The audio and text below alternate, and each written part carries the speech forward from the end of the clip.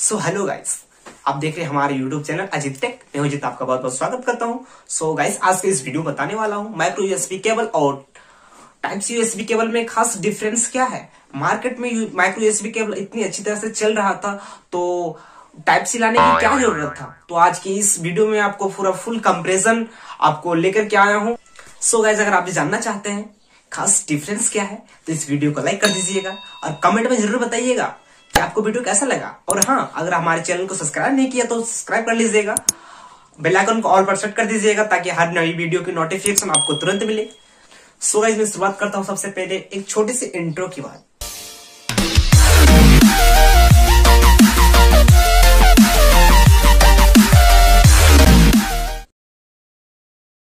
सो finally guys सबसे पहले आपको यूएसबी यूएसबी का फुल फॉर्म होता है यूनिवर्सल सीरियल बस अब सीरियल का मतलब समझ में आ ही गया होगा। सबसे पहले आया था USB type A so guys USB type A में आता है, जैसे कि पेन ड्राइव पेन ड्राइव में जैसे लगता है लैपटॉप में लगता है, जैसे कि मोबाइल चार्जर में रहता है, जैसे इस तरह का इसको इसको हम लोग बोलते हैं यूएसबी टाइप ए इसको इस तरफ़ से माना जाता है यूएसबी टाइप ए और और यूएसबी टाइप बी में आपको दिखाया जाता है, जैसे कि प्रिंटर का केबल, प्रिंटर का केबल वगैरह देखा जाता है।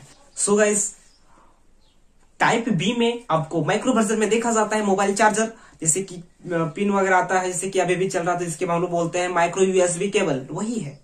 ठीक है? एक यूएसबी टाइप बी का एक माइक्रो वर्जन है वो।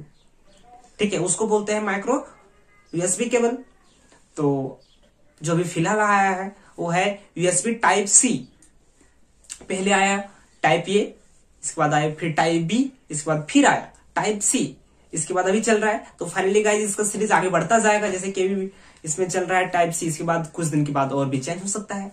इसके बारे में हम अभी चर्चा नहीं कर सकते हैं तो तो आपको समझ में आ ही गया होगा कि टाइप सी होता क्या है। सो गाइस अगर हम बात करते हैं डाटा केवल स्पीड के बारे में तो उसमें बहुत तरह के ब्रेंड आते हैं। जैसे कि उसमें लिखा हुआ रहता है एम्पियर ठीक है? तो जैसे कि बहुत ब्रेंड में आता है, जैसे कि एक एम्पियर का आता है, इसके बाद आता है टू पॉइंट ज़ीरो एम्पियर फिर three point zero ampere three point one ampere तो एम्पियर का मतलब में यही होता है कि अगर एक एम्पियर का है तो उसमें आपको डाटा ट्रांसफ़र कर देगा।